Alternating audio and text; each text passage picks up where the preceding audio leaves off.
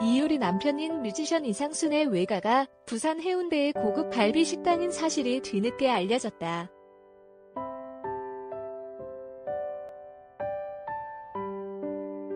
최근 넷플릭스 먹보와 털보 게스트로 출연한 이효리는 비와 노홍철에게 부산 가서 오빠네 외삼촌 집 거기 갔었다며? 라고 묻는데 여기서 말하는 오빠네 외삼촌 집은 부산 해운대에 위치한 갈비 식당으로 고급 맛집으로 손꼽히는 곳이다.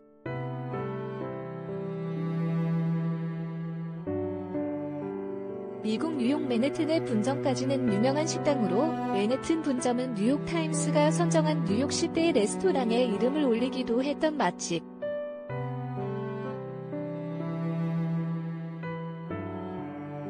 이 사실을 뒤늦게 알게 된 비와 노홍철은 깜짝 놀랐다.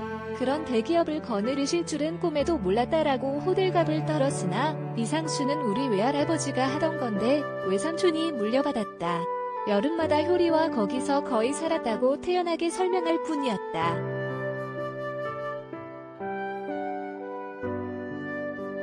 이상수는 이효리와 결혼하던 2013년 재벌설에 시달렸으나 부모님이 서울 강남구 역삼동에 위치한 프랜차이즈 김밥집을 운영할 분이라며 재벌과의 자제는 아니라고 부인한 바 있다.